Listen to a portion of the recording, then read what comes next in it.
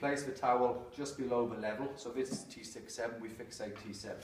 Bring your sternum up towards it, the right arm under left, or left under right, so hold on tight there.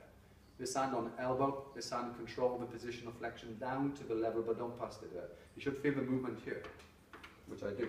This hand on the elbow, so I'm going to bring it back towards me. So she'll feel tension with me pushing, and I'm pulling. So it's a push and a pull technique. To take a breath? As she breathes out, breathe out, lock, lovely.